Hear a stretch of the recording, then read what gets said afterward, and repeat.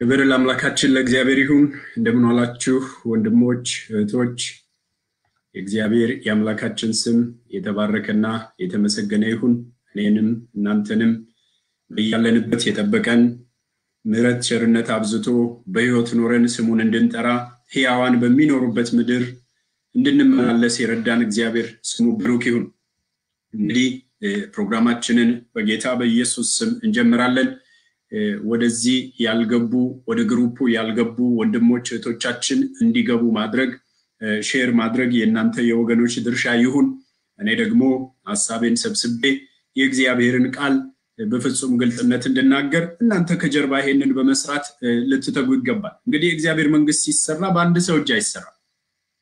የእግዚአብሔር መንግስት ሲሰራ ጌታችን መድኃኒታችን ኢየሱስ ክርስቶስ በምድር ላይ በነበረበት ጊዜ ደቀ መዛሙርቱን ሲመለምን ለአገልግሎትም ሲልካቸው ከአንድ በላይ እያደረገ ነበር።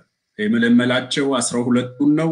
እነዚህ አስራ ሁለቱ ደግሞ እያንዳንዳቸው ጌታን መስለው እየኖሩ ጌታን እያሳዩ ጌታን የሚመስል ሌላ ትውልድ እንዲያፈሩ አደረጋቸው።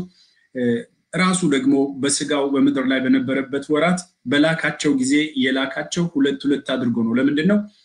መተጋገዝ ስለነበረባቸው አንዱ ቢወድቅ አንዱ እንዲያነሳው ነው። አንደኛው የማይሰራውን ሌላኛው እንዲሰራው ነው እና ዛሬ ሰዎች የሚመርጡት ምንድን ነው ብለን ብንል እውነትን መስማትን ሳይሆን እውነት ያልሆነውን ነገር መስማትን ይመርጣሉ። ይሄ የሰው ባህሪ የሰው ባህሪ ምኞቱን መስማት ላይ የተመሰረተ የሚፈልገውን አይነት ነገር ነው መስማት የሚፈልገው።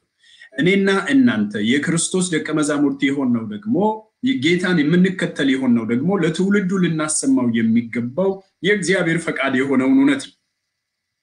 እንደ እግዚአብሔር ፈቃድ የሆነውን ሰዎችን ወደ ዘላለም ሕይወት የሚያመራቸውን ሰዎችን ወደ እግዚአብሔር ልጅነት ክብር የሚያመጣቸውን እውነት ልንነግራቸው ይገባል። ይሄ እንግዲህ ይሄኛው ሲሰብክ፣ ያኛው ሲያካፍል፣ ያኛው ሲያጋራ፣ በጽድቅና በቅድስና እግዚአብሔርን እየመሰለ ሲኖር ማለት ነው እና ይህን ሁሉ የምለው ለምንድን ነው? የእግዚአብሔር እውነት እንዲደርስ መልእክቶችን ማካፈል አትርሱ ለማለት እነዚህን አሁን እየተመለከትናቸው ያሉ መልእክቶችን በራሳችሁ group ኦች ላይ share እያደረጋችሁ መስማት ትችላላችሁ። share አድርጋችሁት እዛው ጋር ታዩታላችሁ። share ባደረጋችሁበት ሰዓት በዛ ቅጽበት ሌላ ቦታ ያለ ወንድም እህት ደግሞ ይሄን መልእክት ይሰማል። ይሄ እንግዲህ ከእግዚአብሔር መንግስት አገልግሎት ውስጥ አንዱ መሆኑ ነው ማለት ነው። በጣም የሚያሳዝነው ነገር በምድር ላይ አሁን ስንመለከት በዓለም ላይ ስንመለከት ከእግዚአብሔር ልጆች ይልቅ ከቅዱሳን ይልቅ ከኛ ከክርስቲያኖቹ ይልቅ እውነተኛ ያልሆኑቱ ይሄንን ጥበብ በጣም ተጠቅሞበታል። አንድነትን በጣም ተጠቅሞበታል። ጌታም ሲናገር ምን አለ? ከብርሃን ልጆች ይልቅ የዚህ ዓለም ልጆች ለትውልዳቸው ልባሞች ናቸው። መደጋገፍ ይችሉበታል። በጋራ ያሰቡትን ጥፋት ለመስራት መተጋገዝ ይችሉበታል። ቅዱሳን ደግሞ የጌታን ስራ ለመስራት መተጋገዝ ያቅተናል። የእግዚአብሔርን ሀሳብ ለማገልገል መተጋገዝ ያቅተናል። እነሱ ለጥፋት መተጋገዝ ሲችሉ፣ ኔትወርክ መፍጠር ሲችሉ፣ እኔና እናንተ ደግሞ የእግዚአብሔርን ፈቃድ ለማገልገል ኔትወርክ መፍጠር ያቅተናል። ብዙ ጊዜ ድክመታችን ይሄ ነው። ክፍተት ያገኙብናል፣ መግቢያ ያገኙብናል። እነሱ የተናገሩት ነገር ከእውነት ድምፅ ይልቅ ጎልቶ ይሰማል። ለምን ቢባል ስህተታቸውን ሊያጎላላቸው የሚችል አብሯቸው የተሰለፈ ብዙ ሰው አላቸው። ወንድሞች እህቶች፣ እኔና እናንተ ከጽድቅ ጎን ልንቆም ይገባናል። ከእውነት ጎን ልንቆም ይገባናል። እግዚአብሔርን በሚያከብር ነገር ሁሉ ላይ እንደ እግዚአብሔር ቃል በሆነ ነገር ሁሉ ላይ ጽድቅና እውነት ባለበት ነገር ሁሉ ላይ ቀድመን የምንቆም ልንሆን ይገባል። ይሄ የእያንዳንዳችን ኃላፊነት ሊሆን ይገባል። ጌታ አይናችን ይክፈት። እግዚአብሔር አምላክ አይናችን ይክፈት። እስቲ ጌታን እናመስግና እንጀምር። ልዑል አምላካችን እግዚአብሔር ሆይ በጌታ በኢየሱስ ክርስቶስ ያው ስም እናመሰግናለን። ትላንትናን አሳልፈህ ዛሬን ጨምረህ ሰጥተህ ቀኑን ሁሉ ደግሞ አውልህን ለዚህ ምሽት ስላደረስከን ስምህ የተባረከና የተመሰገነ ይሁን። እግዚአብሔር የዘላለም አምላክ ሆይ ቃልህ እንደሚል በአንተ ሕያዋንን እንኖራለን፣ እንንቀሳቀሳለን። ውለን ያመሸነው ባንተ ነው፣ ወጥተን የገባነው ባንተ ነው። እግዚአብሔር ሆይ በተከበበ ከተማ ምሕረትህን በላያችን አብዝተህ ለዚህ ምሽት ያደረስከን እኛንና የእኛ የሆነውን ሁሉ የጠበቅክ አንተ ነህ። በጌታ በኢየሱስ ክርስቶስ ያው ስም ስም ብሩክ ይሁን። ልዑል አምላካችን እግዚአብሔር ሆይ እንግዲህ ጌታ ሆይ የጠበቅከንን አንተን አምላካችን የሆንከውን አንተን በራስህ መልክና ምሳሌ የፈጠርከንን አንተን በልጅ በኢየሱስ ክርስቶስ በኩል መቤዠትን የተቤዠህንን አንተን በመታዘዝ መኖር እንድንችል ፈቃድህን ለይተን በማወቅ እንድንመላለስ አቤቱ በዚህ ሰዓት እንደ ምሕረት ብዛት ድካማችንን ሁሉ አርቀህ የፈቃድህን እውቀት ወደ መረዳት እንድታሳድገን እጸልያለሁ። በጌታ በኢየሱስ ስም ስንፍናችንን፣ ድካማችንን፣ ጉድለታችንን ሁሉ አስወግደህ አባቶይ ፈቃድህን ማወቅ እንድንችል እርዳን። በጌታ በኢየሱስ ስም የቃል ፍቺ እንዲያበራልን እጸልያለሁ። ለሚሰማ የሚሰማበትን ጥበብ፣ ለሚናገር የሚናገርበትን ጥበብ የምትሰጥ ጌታ መንፈስ ቅዱስ ሁለንተናችንን በኢየሱስ ክርስቶስ ስም አንተ ውረስ።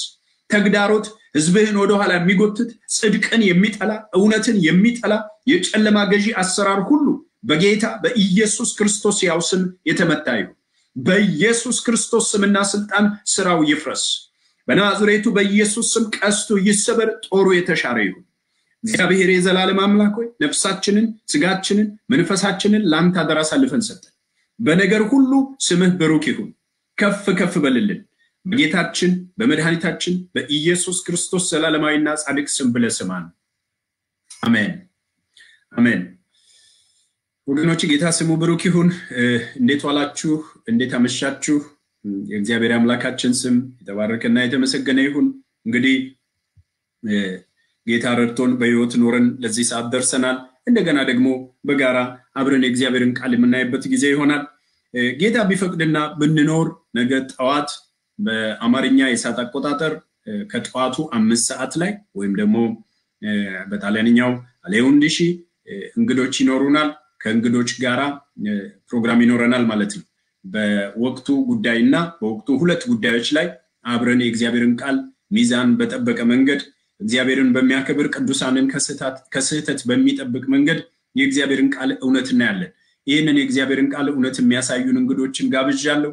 እንደ እግዚአብሔር ፈቃድ በሕይወት ኖረን ነገን ካየን ጌታ ከረዳን ይሆናል ብለን ተስፋ እናደርጋለን። እንግዶችን መጋበዝ እናንተም ደግሞ በጊዜው ተገኝታችሁ መጣማርሱ ጌታ ይባርካችሁ። በኋላ ላይ መጨረሻ ላይ ዝርዝር ነገር ለመናገር እሞክራለሁ። ትላንትና ትላንትና የእግዚአብሔርን ቃል ስንካፈል አንድ ሀሳብ አይተን ነበር።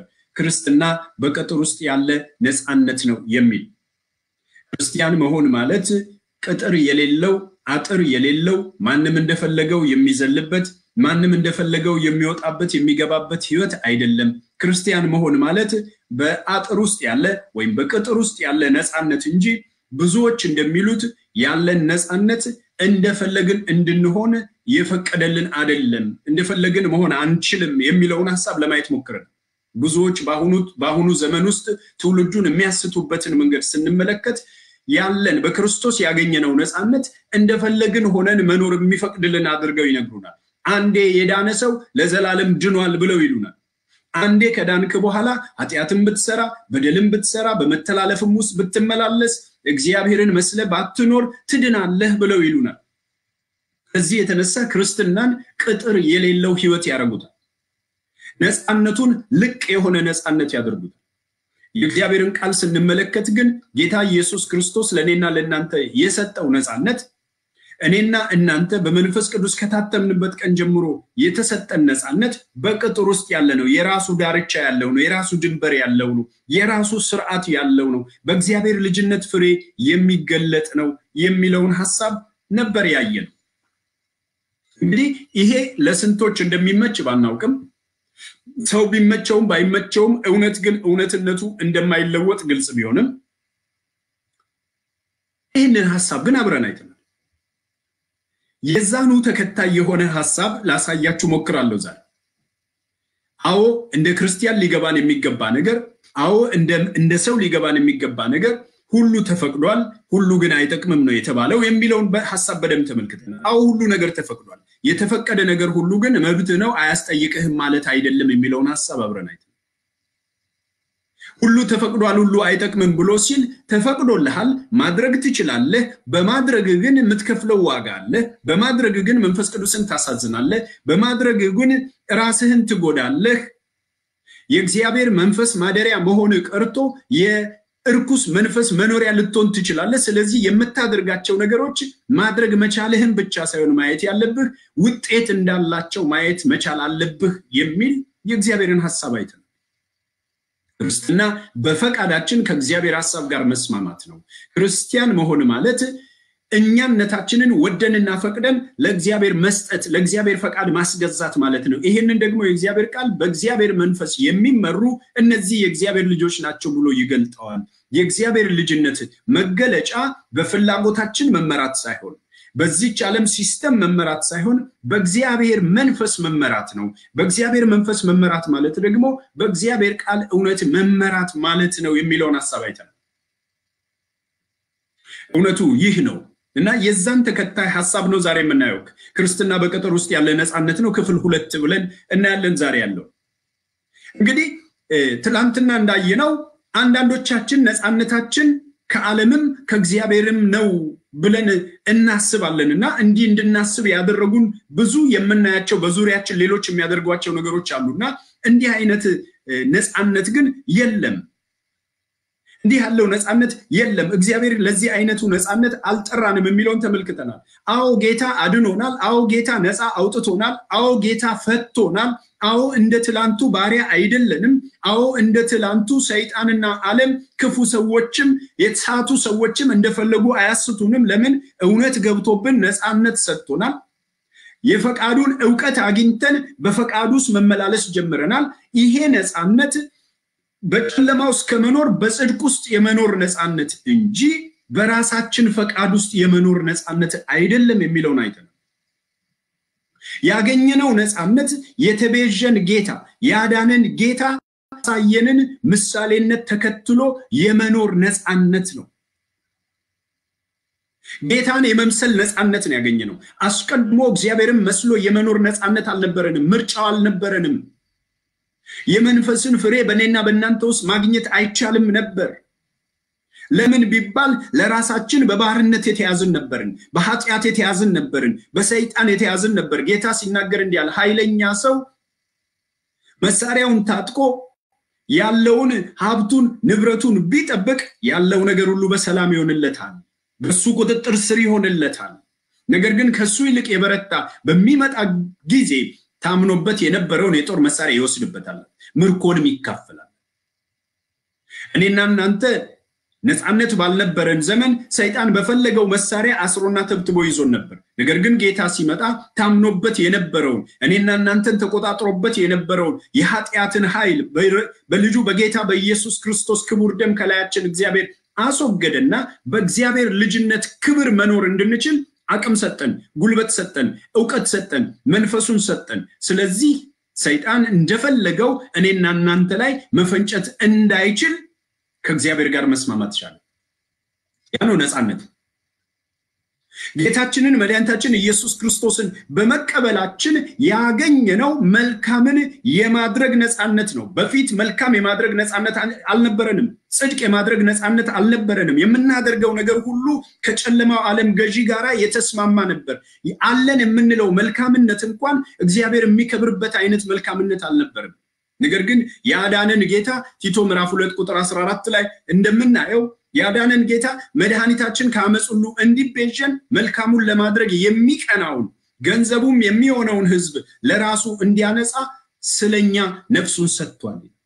አሁን ጌታችን መድኃኒታችን ኢየሱስ ክርስቶስ የተቤዠን መልካሙን ለማድረግ እንድንቀና ነው። አሁንም ተቤዥቶናል ካልን በኋላ በራሳችን ፍላጎት ውስጥ እንድንዘፈቅ ሳይሆን የዚህችን ዓለም ምኞት እንድንፈጽም ሳይሆን አስመስለንና ተመሳስለን እንድንኖር ሳይሆን መልካም ማድረግ የሚችል እግዚአብሔር መልካም ነው ያለውን ነገር ማድረግ የሚችል ማንነት ውስጣችን እንዲፈጠር ነው የተቤዠን ይላል። የተቤዠን እግዚአብሔር ስሙ ብሩክ ወገኖች ልብ በሉ። ቅዱሳን ወንድሞቼ እህቶቼ ልብ በሉ። የተቤዠን መልካም ለማድረግ እንድንቀና ነው። መልካም ለማድረግ እንድናስብ ነው፣ እንድንኖር ነው። አኗኗራችን በእግዚአብሔር ፊት መልካም የሆነውን ነገር ማድረግ እንዲሆን ነው። ለዚህ የፈጠረን እግዚአብሔር ስሙ የተባረከና የተመሰገነ ይሁን። ወደ ጌታ ከመምጣታችን በፊት ከመያዛችን የተነሳ ነፃ ካለመሆናችን የተነሳ በኃጢአት የተተበተብን በምኞታችን የተተበተብን በጣዖት አምልኮ የተተበተብን የራሳችንን ፈቃድ እንኳን ማድረግ የማንችል የምናደርገው ነገር ሁሉ የዲያብሎስን ፈቃድ መፈጸም የነበረ ሰዎች ነበርን። የእግዚአብሔር ልጅነት ባህሪ ሳይሆን የቁጣ ልጅነት ባህሪ ነበርን። ለዚህ ነው የእግዚአብሔር ቃል ሲናገር ከፍጥረታችን የቁጣ ልጆች ነበርን ይላል። የምናደርገው ነገር ሁሉ እግዚአብሔር ቆጣ ነበር። የምናደርገው ነገር ሁሉ ዲያብሎስን ብቻ የሚያስደስት ነበር። የነበረን ነፃነት አስቀድሞ ማለት ነው ወደ ጌታ ከመምጣታችን በፊት የነበረን ነፃነት ኃጢአት ማድረግ ብቻ ነበር የሚያስችለን። ማመፅ ብቻ ነበር የሚያስችለን። ከእግዚአብሔር መጣላት ብቻ ነበር የሚያስችለን። የቁጣ ልጆች ወደ መሆን የሚጎትተን ብቻ ነበር አስቀድሞ የነበረን ነፃነት። ለዚህ ነው የእግዚአብሔር ቃል ሲናገር የቁጣ ልጆች ነበርን፣ ከፍጥረታችን የቁጣ ልጆች ነበርን። ስለዚህ ጽድቅ ማድረግ አይቻልም። እግዚአብሔርን መምሰል አይቻልም። ወንድማማች የወንድማማች መዋደድ አይቻልም። ለምን ቢባል እማንችለው ነገር አስሮ ተብትቦ ይዞን ነበር። እማንችለው የጨለማ ገዢ ጉልበት፣ የአመፃ ሚስጥር የራሳችንን ፍላጎትና ምኞት ተገን አድርጎ አስሮና ተብትቦ ይዞን ነበርና መልካም የሚባለውን ነገር ማድረግ የማንችል ሰዎች ነበር። መጽሐፍ ቅዱስ ስለዚህ ሀሳብ ብዙ ነገር ይነግረናል። የነበረንን ባህሪ የተሞላነውን ባህሪ በግልጽ ይናገራል። አስቀድመን የተመላለስንበት ያ ኑሮ ያ ህይወት ያለ ጌታ በነበርን ዘመን የነበረን አስተሳሰብ፣ ምርጫ፣ አመለካከት የእግዚአብሔር ልጅነት ፍሬ አልነበረም። ያም ፍሬ መልካም እንደሆነ እንኳ ብናውቅ ልናፈራው አንችልም ነበርን። ለዚህ ነው መጽሐፍ ቅዱስ አስቀድሞ ከነበረን ከዚያ ባህሪ እንደፈታን የተሰጠን ነፃነት እነዛን ነገሮች ከማድረግ በእነዚያ ነገሮች ቁጥጥር ስር ከመኖር የምንጠላቸውን ነገሮች ከማድረግ እግዚአብሔርን የሚያከብሩ ነገሮችን ወደ ማድረግ መጠራት እንደሆነ የእኛ ነፃነት ሲናገር እንዲህ ይላል። ኤፌሶን ምዕራፍ ሁለት ከቁጥር አንድ እስከ ሁለትን ተመልከቱ። ኤፌሶን ምዕራፍ ሁለት ከቁጥር አንድ እስከ ሁለት ሲናገር እንዲህ ይላል። በበደላችሁና በኃጢአታችሁ ሙታን ነበራችሁ በእነርሱም በዚህ ዓለም እንዳለው ኑሮ በማይታዘዙትም ልጆች ላይ አሁን አለቃ በማይታዘዙትም ልጆች ላይ አሁን ለሚሰራው መንፈስ አለቃ እንደሆነው በአየር ላይ ስልጣን እንዳለው አለቃ ፈቃድ በፊት ተመላለሳችሁ ይላል። አያችሁ፣ ወደ ጌታ ከመምጣታችን በፊት አኗኗራችንን መጽሐፍ ቅዱስ ሲገልጠው የእግዚአብሔር ቃል ሲገልጠው እንዲህ ይላል፣ በበደላችሁና በኃጢአታችሁ ሙታን ነበራችሁ በአኗኗራችሁ ሙታን ነበራችሁ። በመንፈሳቸው የሞቱ በኃጢአት ምክንያት የሞቱ ከእግዚአብሔር የተለዩ ሰዎች የሚኖሩትን አይነት ኑሮ እንጂ ከእግዚአብሔር ጋር የተስማሙ ሰዎች የሚኖሩትን አይነት ኑሮ መኖር የማትችሉ ነበራችሁ። በጽድቅ ለመመላለስ ነፃነቱም አቅሙም ችሎታውም አልነበራችሁም። እንዲያውም ሙታን ነበራችሁ ነው። እግዚአብሔር ሙት ያለውን አይነት ኑሮ ነበረ የምትኖሩት። ይህም የሆነበት ምክንያት በእነርሱም በዚህ ዓለም እንዳለው ኑሮ በዚህ ዓለም ያለውን አይነት ኑሮ ነው የምትኖሩት። ምን አይነቱን ኑሮ? በማይታዘዙት ልጆች ላይ ለሚሰራው አለቃ መንፈስ ተገዢ ሆናችሁ የእሱን ፈቃድ አገልግላችሁ በአየር ላይ ስልጣን ያለው የዚህ የጨለማ ዓለም ገዢ የሚፈልገውን እያደረጋችሁ እንጂ እግዚአብሔርን የሚያከብረውን ነገር እያደረጋችሁ መኖር አትችሉም ነበር። ያላችሁ ነፃነት ያገኘነው በዚህ በአየር ላይ ለሚሰራው መንፈስ አለቃ በዚህ ዓለም ላይ በአየር ላይ ለሚሰራው መንፈስ አለቃ የማያምኑ ሰዎች ላይ የሚሰራው መንፈስ ብዙዎችን ወደ ፈለገው የሚጎትተው የሚነዳቸው መንፈስ በእኛ ላይ የነበረውን ስልጣን እንዲያጣ ነው በክርስቶስ ነፃነት ያገኘ ነው። ጌታን በማግኘት ከሱ ስር ነው የወጣ ነው። እሱ በእኛ ላይ ኃይል ነው ያጣው፣ ስልጣን ነው ያጣው፣ አገዛዝ ነው ያጣው። ወደሚፈልገው ሊነዳን እንዳይችል ነው የተደረገው። ይሄ ነው ነፃነት ማለት። ስሙ ብሩክ ይሁን። ይሄ ነው ነፃነት ማለት። የእኛ ነፃነት ኃጢአት የማድረግ ነፃነት ሳይሆን ከሙታን ዓለም ወደ ሕያዋን ዓለም፣ ከኃጢአት ዓለም ወደ ጽድቅ ዓለም፣ እግዚአብሔርን ካለማወቅ እግዚአብሔርን ወደ ማወቅ ዓለም ነው የተጠራ ነው። የኤፌሶን መጽሐፍ የሚነግረን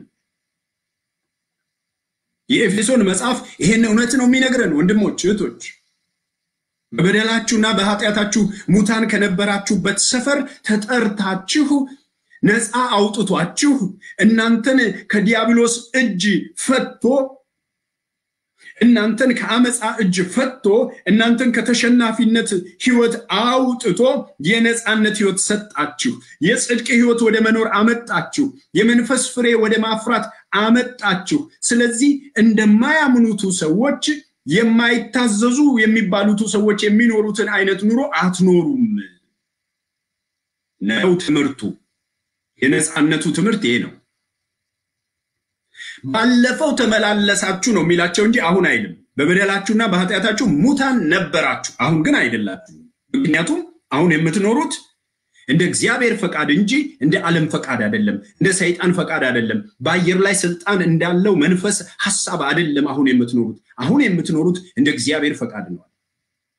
እግዚአብሔር አምላክ አይናችን ይክፈት ወንድሞች እህቶች። ስለዚህ ብዙ የስህተት ትምህርቶችን እየሰማን ብዙዎች ስለተቀበሏቸው ልክ መስሎን እኔና እናንተ በምድር ላይ ጨው ሆነን መኖር ሲገባን፣ ብርሃን ሆነን መኖር ሲገባን፣ የእግዚአብሔር ልጅነት ፍሬ እያፈራን መኖር ሲገባን አንዴ ድኛለሁና ምንም ባደርግ ተጠያቂ አልሆንም ብለን ራሳችንን እንዳናታልለው ጌታ ይርዳን። ትውልዱንም እንዳናታልለው ጌታ ይርዳን። እውነቱ የሚነግረን ቅዱስ ቃሉ የሚነግረን ነበራችሁ ነው እንጂ አሁን ናችሁ አይደለም። አሁን አሁን ግን እንደ በአየር ላይ ስልጣን እንዳለው ክፉ መንፈስ በማያምኑ ሰዎች ላይ ስልጣን እንዳለው እንደዚህ አለቃ ፈቃድ የምትመላለሱ አይደላችሁም። አሁን እንደ እግዚአብሔር ፈቃድ የምትመላለሱ ናችሁ ነው የሚለን። ወንድሞቼ እህቶቼ፣ እግዚአብሔር አምላካችን የተባረከ ይሁን። የኔና የእናንተን አይን የከፈተ ልዑል አምላክ እግዚአብሔር ስሙ ብሩክ ይሁን። ይህን አይነቱን ነፃነት የሰጠን ልዑል አምላክ እግዚአብሔር ስሙ ብሩክ ይሁን። ለዚህ ነው እንግዲህ ነፃነታችን በቅጥር ውስጥ ያለ ነፃነት ነው። ክርስትና ማለት ቤተ ክርስቲያን እየተመላለሱ መጽሐፍ ቅዱስ ይዘው እየተመላለሱ ከዛ ውጭ ባለ ሕይወት ውስጥ እግዚአብሔርን የማያከብር አይነት ኑሮ መኖር አይደለም። እግዚአብሔርን በመፍራት መኖር ነው። በእውቀት መታደስ ነው። እግዚአብሔር ጽድቅ ያላቸውን መንገዶች መከተል ነው። እግዚአብሔር እውነት ያላቸውን መንገዶች መከተል ነው የምንልበት ምክንያቱ ይህ ነው። ሰው ደግሞ ይሄ አይመቸውም። ሰው ዳግም ካልተወለደ በስተቀር ሰው የእግዚአብሔር ልጅነት ሚስጥር ካልገባው በስተቀር ሰው የተጠራበትን ክብር አሻግሮ የማያይ ካልሆነ በስተቀር አይመቸውም። እንዲህ ያለው ነገር አይመቸውም። እንዲህ ያለው ነገር ወገኖቼ፣ የእግዚአብሔር ቃል የሚመቸን ያድርገን ጌታ። እውነት የሚመቸን ያድርገን ጌታ። ትላንት ሙት ነበርኩ፣ ዛሬ ጌታ ካከበረኝ በኋላ ጌታዬን መልሼ አላሳዝነውም። የታተምኩበትን ያን ቅዱሱን መንፈስ አላሳዝነውም። በፈቃዴ የሚዘንብብኝ እግዚአብሔር ጸጋ አክብሬ እኖራለሁ በማለት መንፈስ እግዚአብሔር ይባርከን። በፈቃዴ አምላኬን አክብሬ እመለለሳለሁ በማለት መንፈስ እግዚአብሔር አምላክ ይባርከን ወገኖች። ለዚህ ነው እንደ ልክ አሁን እኔና እናንተ ዘመን ውስጥ እንዳሉት አይነት አሳቾች በእኔና በእናንተ ዘመን ውስጥ እውነት የሚመስል ነገር እየተናገሩ ትውልዱን ከመስመር የሚያስወጡ ሰዎች በሐዋርያው ጳውሎስ ዘመን ስለነበሩ ሐዋርያው ጳውሎስ ይህንን አመለካከት ከውስጣቸው ሊያወጣ ለሮም ክርስቲያኖች ደብዳቤ ጻፈላቸው። በጻፈላቸው ደብዳቤ እንዲህ እንዳላቸው እናነባለን። በተለይ አንዱን ሀሳብ ይዤ ነው ወደ ሌሎቹ ሀሳብ ልወስዳችሁ የምፈልገው። እኔ ድኛለሁ፣ ከእንግዲህ በኋላ እንደፈለገኝ መመላለስ ይችላለሁ፣ ከእንግዲህ በኋላ አንዴ ታጥቤያለሁ፣ ለዘላለም ድኜ ቀራለሁ ብለው የሚሉ መዳናቸውን ዕለት ዕለት መፈጸም የሚገባቸው ከጌታ ጋር በመኖር ማሳየት የሚገባቸው ለጌታቸው ፈቃድ በመገዛት ማሳየት የሚገባቸው እነዚህ ሰዎች ስለ ሰዓቱ ከመስመር ስለወጡ እና እንዲሁ በደፈናው እንደፈለጉ የሆኑ እኔ ክርስቲያን ነኝ ብለው ይናገሩ ስለነበረ ጳውሎስ በጻፈላቸው ደብዳቤ እንዲህ አላቸው፣ ልባሞች የሆናችሁ አይምሰላችሁ። ልባሞች የሆናችሁ አይምሰላችሁ፣ ያስተዋላችሁ አይምሰላችሁ። እንዲህ በምትሉበት ጊዜ የተረዳችሁ አይምሰላችሁ፣ የበሰላችሁ አይምሰላችሁ። ከክርስትና ቅጥር ውጭ እየኖራችሁ ክርስቲያን ነኝ ስትሉ የአስተዋይነት ምልክት አይደለም፣ የብስለት ምልክት አይደለም፣ የእውቀት ምልክት አይደለም። እናንተ የሮም ክርስቲያኖች እንደሱ አይደለም አላቸው። ዛሬ ለእኔና ለእናንተ ትውልድ ነው ይሄ ቃል የሚናገር አላቸውና ይህንን ያላቸው ወደ መጨረሻ ላይ ስለሆነ ከዛ በፊት ያላቸውን ልንገራችሁ። ሌላ ጊዜ በተወሰነ ሀሳቡን የተመለከት ነው ይመስልናል። ሮሜ ምዕራፍ 12 ላይ እንዲህ አላቸው፣ እንግዲህ ወንድሞች እንግዲህ ወንድሞች ሰውነታችሁን እግዚአብሔርን ደስ የሚያሰኝ ሕያውና ቅዱስን መስዋዕት አድርጋችሁ ታቀርቡ ዘንድ በእግዚአብሔር ርኅራኄ እለምናችኋለሁ፣ እርሱም ለአእምሮ የሚመች አገልግሎታችሁ። እንግዲህ ወንድሞች ሆይ ድናችሁ ከሆነ እንግዲህ ወንድሞች ሆይ በሰይጣን ቁጥጥር ስር ከመኖር በእግዚአብሔር መንፈስ ቁጥጥር ስር ወደ መኖር መታችሁ ከሆነ እንግዲህ ወንድሞች ሆይ ትላንት ሰይጣን ወደ ፈለገው ሲዘውራችሁ፣ ዛሬ ደግሞ መንፈስ ቅዱስ ወደ ሕይወት እየመራችሁ ከሆነ የመዳን ትርጉም ገብቷችሁ ከሆነ እናንተ ወንድሞች፣ እናንተ እህቶች ከእንግዲህ በኋላ ማንነታችሁን ከእንግዲህ በኋላ ሰውነታችሁን ሰው ተብሎ የሚጠቀሰውን ሁለንተናችሁን፣ ነፍሳችሁን፣ ስጋችሁን፣ መንፈሳችሁን እና በነፍስ በስጋ በመንፈሳችሁ ውስጥ የሚሆነውን ነገር በሙሉ እግዚአብሔርን ደስ የሚያሰኝ ሕያው ቅዱስም መስዋዕት አድርጋችሁ ታቀርቡለት ዘንድ እግዚአብሔር የሚቀበለው እግዚአብሔር ሲመለከተው የሚደሰትበት እግዚአብሔር የሚከብርበት የእግዚአብሔር የክብር ዕቃ አድርጋችሁ አሳልፋችሁ ትሰጡ ዘንድ መልሳችሁ ለእግዚአብሔር በእግዚአብሔር ርኅራኄ እለምናችኋለሁ።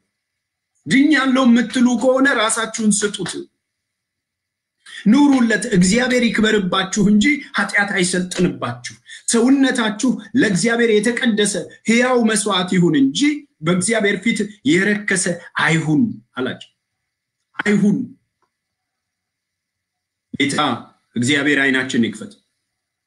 እርሱም ለአእምሮ ይመች አገልግሎታችሁ ነዋል።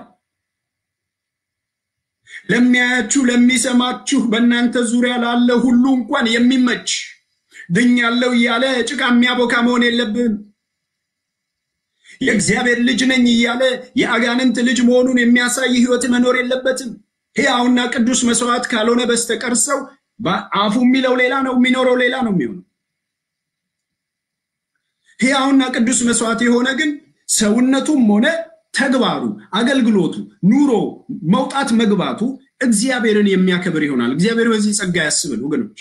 ይሄ ደግሞ ከእሽታ የሚገኝ ነው። ይሄ ደግሞ የእግዚአብሔርን ፈቃድ እሺ ከማለት የሚገኝ ነው። ጌታ ጸጋውን አዝንቧል።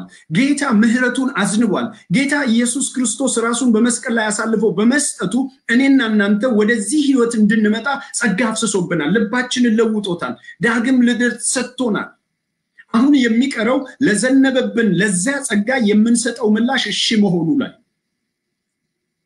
የሚቀረው እሱ ነው። እሽታ በእሽታ መንፈስ ደግፈኝ። ጌታ ፈቃድህን እሺ እንዲል እንድልህ ጠላትን እምቢ ብዬ አመፃን እምቢ ብዬ እልህኝነትን እምቢ ብዬ ከፈቃድህ ውጭ የሆነውን ነገር እምቢ ብዬ አንተን እሺ እንድልህ እርዳኝ። እዚህ ነው እለምናችኋለሁ እኮ ነው የሚሏቸው እዚህ ጋር ሐዋርያ ጳውሎስ።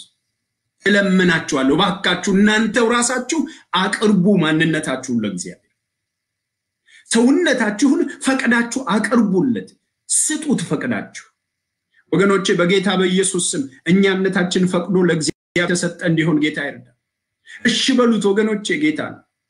እሺ በሉት። ቃሉ ሲጠይቀን፣ መንፈሱ ሲያስተምረን እሺ እንበል። እልህ አንያዝ። ታስታውሳላችሁ ከዚህ በፊት ያየነው የእግዚአብሔር ቃል ሲዘንብብህ ፈቅደህ እሺ በል ብለን ተመሳሳይ ዝናብ ዘንቦበት አንደኛው መሬት እሾህ ሲያበቅል ሌላኛው መሬት እህል ሲያበቅል አላየንም? ከእግዚአብሔር ከዚህ የተነሳ እህል ያበቀለው ሲባረክ፣ እሾህ ያበቀለው ደግሞ ለመቃጠል ይቀርባል፣ መጨረሻው መረገም ነው ሲል አላነበብንም? እሺ ማለት ይጠበቅብናል። እግዚአብሔርን እሺ ማለት። ለዚህ ነው ጳውሎስ ለሮም ክርስቲያኖች በአስራ ሁለተኛው ምዕራፍ ላይ ምን አለ?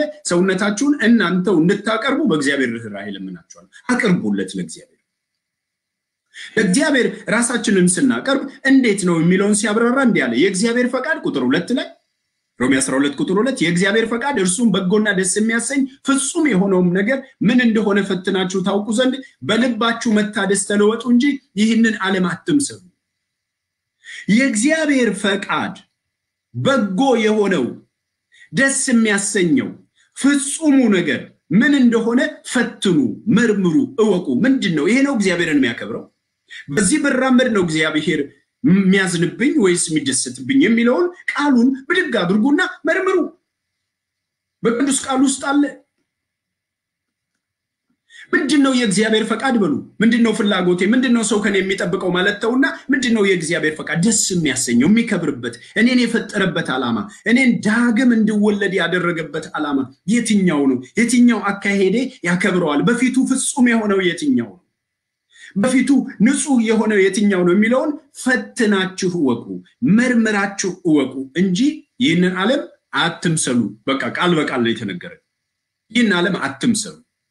በዚህ ዓለም ያሉትን ሰዎች መስላችሁ ለመኖር አትሞክሩ።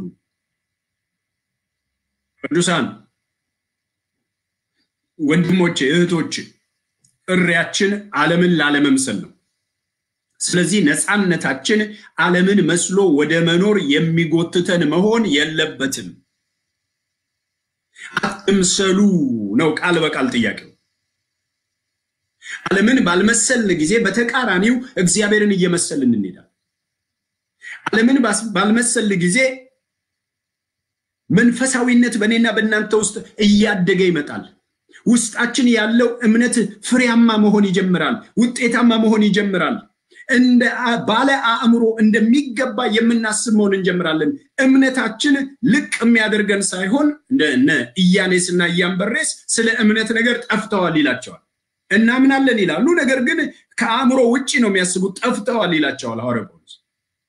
እዚህ ጋር ግን እግዚአብሔርን የሚያከብረውን ነገር ፈልገው የሚያደርጉትን መርምረው የሚያደርጉትን በቅዱስ ቃሉ እየተመሩ የሚያደርጉትን ግን እንዲህ ይላቸዋል። ለአእምሮ የሚመች አገልግሎት መስጠት ሲጀምሩ ምን እንደሚመስሉ እንዲህ ይላቸዋል። ቁጥር ሶስት እግዚአብሔር ለእያንዳንዱ የእምነትን መጠን እንዳካፈለው እንደ ባለ አእምሮ እንዲያስብ እንጂ ማሰብ ከሚገባው አልፎ በትዕቢት እንዳያስብ በመካከላችሁ ላለው ለእያንዳንዱ በተሰጠኝ ጸጋ እናገራለሁ። ሰው እግዚአብሔርን የሚያስደስት በሚሆንበት ጊዜ፣ በመንፈስ ቅዱስ ፈቃድ የሚኖር በሚሆንበት ጊዜ፣ በእግዚአብሔር መንፈስ ቅጥር ውስጥ የሚኖር በሚሆንበት ጊዜ ማሰብ ከሚገባው አልፎ አያስብም። ማድረግ ከሚገባው አልፎ አያደርግም።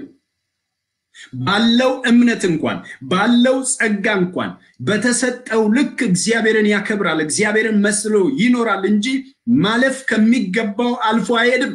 ማለፍ ከማይገባው አልፎ አይሄድም። መናገር ከሚገባው አልፎ አይናገርም። መኖር ከሚገባው የክርስትና ፍሬ ከሞላበት ሕይወት ወጥቶ አይሄድም። በጸጋው ስር ነው ያለው። እግዚአብሔርን የማከብረው ምን ሳደርግ ነው ብሎ የሚያስብ ነው። ወገኖች አያችሁ፣ ዓለምን ወደ መምሰል አይስበንም። እዚህ ላይ ብዙ ቆሜ አልናገርም። እዚህ ላይ ብዙ ቆሜ አልናገርም። ወረድ እያልኩ መናገር የምፈልገውን ዋና ሀሳብ ላሳያችሁ። ምክንያቱም ይሄ በውስጡ በጣም ሰፊ ነገር የያዘ ነው።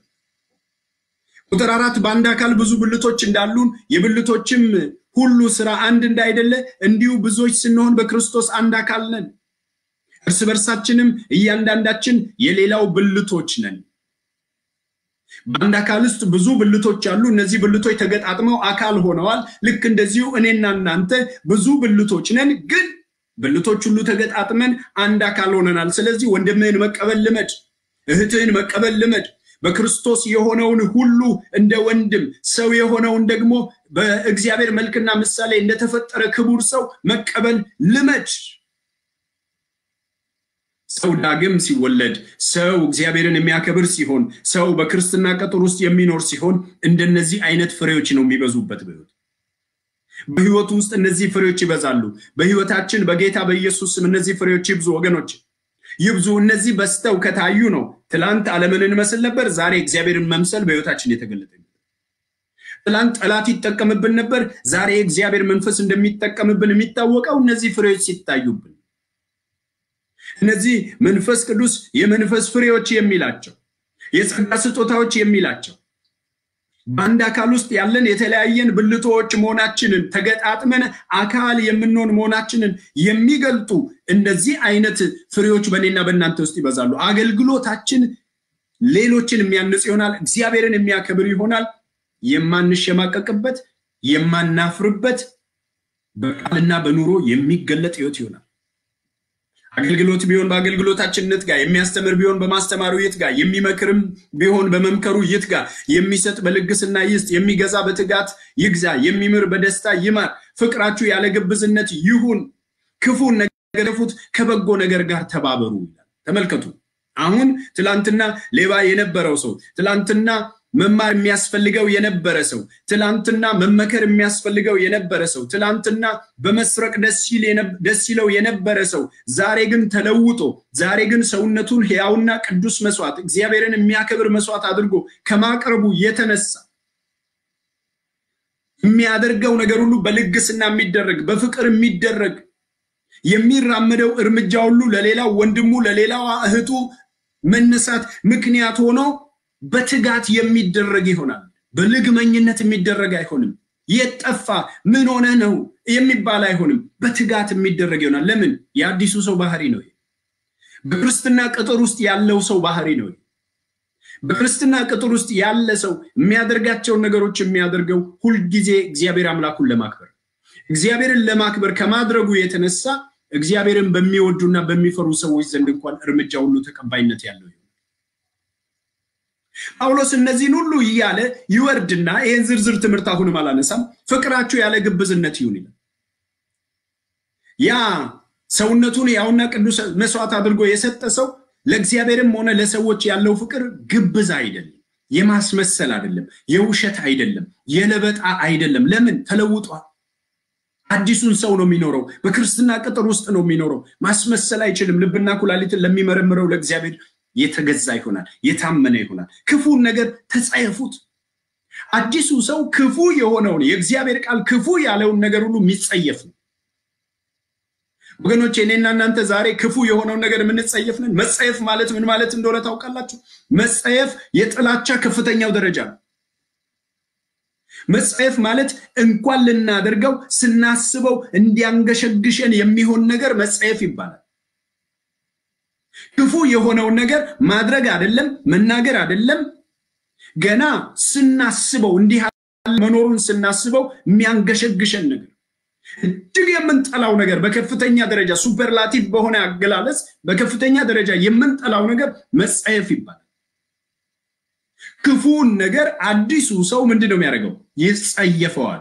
በክርስትና ቅጥር ውስጥ ያለው ሰው ይጸየፈዋል። ምክንያቱም ክርስትና እነዚህን በመጥላት አጥር ውስጥ የሚያኖር ነው። እነዚህን በመጥላት ቅጥር ውስጥ የሚያኖር ነው። ክፉን ነገር ተጸየፉት፣ ከበጎ ነገር ጋር ተባበሩ። እግዚአብሔር በጎ ካላቸው ነገሮች ሁሉ ጋር ተባበሩ።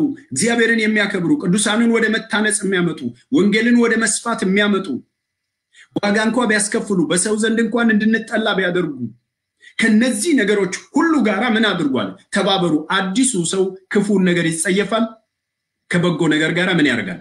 ይተባበራል። ክፉን ነገር ተጸይፎ ከበጎ ነገር ጋር የሚተባበር ማንነት ካለን በእርግጥ ተለውጠናል። አለበለዚያ ገና ነን ማለት ነው። አለበለዚያ ገና አልገባንም ማለት ነው። ለስራ ከመትጋት አትለግሙ። የአዲሱ ሰው ባህሪ አሮጌው ሰው በአየር ላይ ስልጣን እንዳለው አለቃ የሚተዳደረው ሰው የቁጣ ልጅ ሆኖ የሚኖረው ሰው የሚሰራው ስራ እንኳን በልግመኝነት የሚሰራ ነው። አዩኝ ተብሎ የሚሰራ ምን ይሉኛል ተብሎ የሚሰራ ነው። አዲሱ ሰው ግን የሚሰራውን ነገር ሁሉ የሚሰራው እግዚአብሔር አምላክ እግዚአብሔር አምላክ እኔ በማደርገው ነገር ይክበር ተብሎ የሚደረግ እግዚአብሔር አምላክ ይመለከተኛል፣ ያየኛል፣ እሱ ደሞዝ ይከፍለኛል ተብሎ የሚደረግ ይሄ ስራ የኔ ቢሆን፣ ይሄ ንግድ የኔ ቢሆን፣ ይሄ ሩጫ ለእኔ ለግሌ የምሮጠው ቢሆን እንዴት ነበር የምሰራው? ባልንጀራህን እንደ ራስህ ውደድ፣ ሌላው በአንተ ላይ እንዲያደርገው የማትፈልገውን አንተ ለሌላው አታድርግበት ተብሎ የለምን በሚል ልብ የሚሰራ ነው። ለምን? አዲሱ ሰው የሚመራው ሁልጊዜ በእግዚአብሔር ቃል እውነት ነው። ሁልጊዜ የሚያደርጋቸውን ነገሮች ሁሉ የሚያደርገው ከልቡ ነው። ወገኖቼ በዚህ እውቀት በዚህ ጸጋ እግዚአብሔር አምላክ ይባርከን። ይሄ ነው እውነቱ። ለስራ ከመትጋት አትለግሙ፣ በመንፈስ የምትቃጠሉ ሁኑ። ለጌታ ተገዙለት። በመንፈስ የምትቃጠሉ ሁኑ። ውስጣችሁ በመንፈስ ቅዱስ እሳት የተቀጣጠለ ይሁን። እግዚአብሔርን የሚያከብሩ ነገሮችን ለማድረግ የሚራብ የሚጠማ የሚተጋ የወንጌልን ሰደድ ወደ ሌላው ለማስተላለፍ የሚተጋ በስርዓት የሚወጣ በስርዓት የሚገባ በእግዚአብሔር ቤት ውስጥ በስርዓት የሚወጣ በስርዓት የሚገባ በኑሮ በትዳር ውስጥ በስርዓት የሚገባ በስርዓት የሚወጣ በመንፈስ የሚቃጠል ሰው ለምስጋና የሚሮጥ ሰው ለጽድቅ የሚሮጥ ሰው ሁኑ። በመንፈስ የምትቃጠሉ ሁኑ ይልና ለጌታ ተገዙ። አዲሱ ሰው በክርስትና ቅጥር ውስጥ የሚኖረው ሰው የሚገዛው ለስጋው ፈቃድ አይደለም የሚገዛው ለዓለም አይደለም የሚገዛው ለኃጢአት አይደለም የሚገዛው ለጌታ ነው ለጌታ በመገዛት መንፈስ እግዚአብሔር ይባርከን ወገኖች ለእኛነታችን ከመገዛት ለስጋ ፍላጎታችን ከመገዛት ለሰዎች ክፉ ምኞት ከመገዛት ለእግዚአብሔር በመገዛት መንፈስ እግዚአብሔር ይባርከን። ለእግዚአብሔር የሚገዛ መንፈስ በእግዚአብሔር ቃል የሚመራ ለእግዚአብሔር የሚገዛ የሰው መንፈስ የሰው ልብ የሰው አስተሳሰብ የሰው ባህሪ ለዚህ ለቅዱሱ ለእግዚአብሔር ቃል የሚገዛ ነው ለጌታ ተገዙ አዲሱ ሰው ለጌታ የሚገዛ ነው። በክርስትና ቅጥር ውስጥ የሚኖር በምድረ በዳ እንዳደረጉት ግብፃውያን እስራኤላውያን ከግብፅ ወጥተው በምድረ በዳ እንዳደረጉት በጌታ ላይ የሚነሳ አይሆንም አዲሱ ሰው። የሚያስመርረው አይሆንም። እነማን ናቸው ያስመረሩት? ከግብፅ ያስወጣቸው አይደለምን? አያችሁ ከግብፅ ወጥተዋል ነገር ግን አይገዙለትም ግብፅ አይደለም ያሉት መንገድ ላይ ነው ያሉት ወደ ከነአን እየሄድን ነው ነው የሚሉት። ነገር ግን አይገዙም ነገር ግን አይፈሩትም ነገር ግን አይታዘዙትም። የእግዚአብሔር ህዝብ የሚል ስም አላቸው። ነገር ግን ተግባራቸው እግዚአብሔርን አስቆጥቶ እንዲያውም እግዚአብሔር ምን አላቸው? ሙሴ ይህን ህዝብ አጠፋና አንተን ለታላቅ ህዝብ አደርግሃለሁ ተወኝ ያላቸው ናቸው። በኋላ ላይ ደግሞ ስትመለከቱ ወደ እረፍቴ አይገቡም ብዬ በቁጣዬ ማልኩ ያላቸው ናቸው ምን ነው ከከነአን ወጥተው እግዚአብሔር በቁጣ ማለባቸው የሚለውን ስንመለከት ከግብፅ ወጡ እንጂ ግብፅ ከውስጣቸው አልወጣም አዲሱን ሰው መኖር አልቻሉም። ለተስፋ ቃል ምድር እንደተጠራ ሰው መመላለስ አልቻሉም። እምቢ አሉት። ህግ አደለም ያጡት ቃል አደለም ያጡት ቃል ኪዳን አደለም ያጡት እሺታ ነው ያጡት ወገኖች እግዚአብሔር በሽታ መንፈስ ይደግፍ እሺ የሚል ልብ ነው ያጡት። እግዚአብሔር ሆይ እሺ የሚል ልብ ስጠኝ። ምን አይነት ትልቅ ጸሎት ነው? አንተን እሺ የሚል ፈቃዱን እምቢ ብሎ ዓለምን ኃጢአትን ሰይጣንን እምቢ ብሎ ያንተን ፈቃድ እሺ ብሎ አንተን የሚያከብር ማንነት ስጠኝ። ወገኖች አያችሁ ቀሩ በምድረ በዳ ሰው በመንፈስ የሚቃጠል በሚሆንበት ጊዜ በእሽታ መንፈስ የተደገፈ እሺ የሚለው ለጌታ ለጌታ የሚገዛ ይሆናል ማለት በዚህ ጊዜ ለጌታ የሚገዛ ሰው አሁን ያለው ነገር ባያስደስተው እንኳን በተስፋ የሚደሰት ይሆናል። አሁን ያለው ነገር የሚመች ባይሆን እንኳን ተስፋ ያያል። ለዚህ ነው ጳውሎስ በ13ኛው ቁጥር ላይ እንደዚህ ይላቸዋል በአስራ ሁለተኛው ቁጥር ላይ እንዲህ ይላቸዋል። በተስፋ ደስ ይበላችሁ በተስፋ ደስ ይበላችሁ። ለጌታ የሚገዛ ሰው በመንፈስ የሚቃጠል ሰው ዛሬ ባይመች እንኳን ተስፋው ግን ቁልጭ ብሎ ይታየዋል። ጌታ ያዘጋጀለት ህይወት ግን ቁልጭ ብሎ ይታየዋል። የሚጠብቀው ክብር ግን ቁልጭ ብሎ ይታየዋል። አይገርማችሁም? ኢዮብ እኮ ሚስቱ ጥላው ሄዳ ልጆቹ አልቀው ሀብቱ አልቆ ጤንነቱ ከላዩ ላይ ፈጽሞ በቁስል ተመቶ ተበላሽቶ ጤንነቱ እሱ ግን ተስፋ ያል ከዚህ ስጋ ወጥቼ አንድ ቀን ፊት ለፊት አየዋለሁ ይላል። እኔው ራሴ አየዋለሁ ተስፋ ያል አያችሁ? ለምን? ለጌታ የሚገዛ ነው። ለጌታ የሚገዛ ነው። በመንፈስ የሚቃጠል ነው። ከችግሩ ባሻገር ከፈተናው ባሻገር በህይወቱ ካለው ውጣ ውረድ ባሻገር ነገር ግን ለጌታ የሚገዛ ነውና ተስፋ ይታየዋል። ይሄን ያሳልፈኛል የምገዛለት ጌታ ይላል። የማመልከው ጌታ ይሄን ሁኔታ ያሳልፈኛል። ሲመችም ሳይመችም አንተ አምላኬ ነህ ያልኩት የታዘዝኩት የኖርኩለት ጌታ አይጥለኝም። ያሳልፈኛል ይህን ሁኔታ። አልፈዋለሁ የሞትን ጥላ አልፈዋለሁ መከራን አልፈዋለሁ ብሞት እንኳ ደግሞ በክብር እሱም ፊት ለፊት እንዳየው አውቃለሁ ይላል። ወገኖቼ እንዲህ ያለ ድፍረት እግዚአብሔር ይስጠን። እንዲህ ያለ መታዘዝ እግዚአብሔር ይስጠን። ይሄ እግዚአብሔር የሚሰጠን እንዴት ነው ብትሉ እኔ ቃሉን ስናገር የሰማችሁ አይደለም? የእግዚአብሔርን ቃል የሚናገሩ እውነተኞች በተናገሩ ቁጥር ቃል ሰማን አይደለም? ለዚያ ቃል ከኖርን እና እሺ ካልን ጸጋ ይሰጣል። ይሰጣል የእግዚአብሔር የአምላካችን ስም የተባረከና የተመሰገነ እውነቱ ይህ ነው። በቃ አንሸቃቅጥም፣ አንጨምርም፣ አንቀንስም። እውነቱ ይነገረን፣ እውነቱን እንኖራለን። እውነትን ታውቃላችሁ፣ እውነትም አርነት ያወጣችኋል ነው መልእክቱ። የተጻፈው እንደዚህ ነው። በተስፋ ደስ ይበላችሁ፣ በመከራ ታገሱ። ዛሬ ብዙዎችን ከጌታ የለያቸው ነገር ቢኖር መከራ ነው። የማጣት መከራ፣ የብቸኝነት መከራ፣ የተመኙት ነገር ላይ መድረስ ያለመቻል መከራ፣ ጠብቆ በጠበቁት ቀን የሚፈልጉት ነገር ወደ እኛ ያለመምጣቱ መከራ። መከራው ብዙ ነው በዚህ ዓለም ላይ ወገኖች፣ ብዙ ነው። በጣም ብዙ መከራ ነው ያለው። የጤንነቱ መከራ፣ ለእውነት ዋጋ የመክፈል መከራ። ስንት አይነት መከራ ነው ያለው። ሰው ከተለወጠ ግን ይለናል እግዚአብሔር ሰው ከተለወጠ ግን ጌታን የሚወድ ከሆነ ግን በመንፈስ የሚቃጠል ከሆነ ግን ለጌታ የሚገዛ ከሆነ ግን አንደኛ በተስፋ ደስ ይለዋል፣ ሁለተኛ በመከራው ይታገሳል። መከራው የቆመበትን አለት ረግጦ እንዲሄድ አያረገውም። የቆምንበትን የወንጌል አለት ረግጠን አንሄድም። ያዳነንን ጌታ ረግጠን አንሄድም። ቅዱስ መንፈሱን ቅዱስ ደሙን ረግጠን አንሄድም። ለምን? ተለውጠናላ። በቅጥሩ ውስጥ ነው የምንኖረው። ከፍ አለም ዝቅ አለም፣ አረረም መረረም በጌታ ቅጥር ውስጥ ነው የምንኖረው። በቅዱስ ቃሉ ቅጥር ውስጥ ነው የምንኖረው። የቀረው ይቅር ጌታ ሆይ አንተ አትዘንብኝ ነው የምንለው። በቃ ክርስትና ይሄ ነው ወገኖች። አንዳንዶች እንደሚሉት በቃ የፈለገኝን አርጌ አሁን እንትን ብዬ በኋላ ነሳ ገባለሁ። እንዴ ወገኖች ወገኖች እኔ ጋር መታችሁ በጥፊ ልምታህና በኋላ ይቅርታ ጠይቃለሁ ብትሉኝ እሺ አልልም አልልም፣ አልፈቅድም። እንደሱ አይደለም ክርስትና። ክርስትና ወደ ድካም ራሳችንን መጎተት ሳይሆን ክርስትና እግዚአብሔርን ወደ መምሰል ራሳችንን ማሳደግ ነው በእግዚአብሔር ጸጋ። ለዚህ ነው ሐዋርያው ጳውሎስ ጢሞቴዎስን ምን ይለዋል? እግዚአብሔርን መምሰልን ራስን አስለምደው። በዚህ ዓለም ያለውን ነገር መምሰል እንግዲህ ሰዎች አሁን ለምሳሌ ሯጮችን ከተመለከታችሁ ሯጮች ጥሩ አትሌት እንዲወጣቸው መሮጥን ራሳቸውን ያስለምዱታል። ሌሊት ተነስተው እኛ ስንተኛ እነሱ ይሮጣሉ። ዝናብ ላይ ይሮጣሉ፣ ፀሐይ ላይ ይሮጣሉ፣ ክረምት በጋ ይሮጣሉ። ምን ነው ቢባል ራሳቸውን እያስለመዱት። ምንድን ነው የሚያስለምዱት? ጎበዝ ሯጭ መሆን፣ ጥሩ አትሌት መሆን፣ ሮጦ ሄዶ መጨረሻ ላይ አንደኛ ወጥቶ ብር ለማግኘት ገንዘብ ለማግኘት ዝና ለማግኘት ያስለምዱታል ራሳቸው።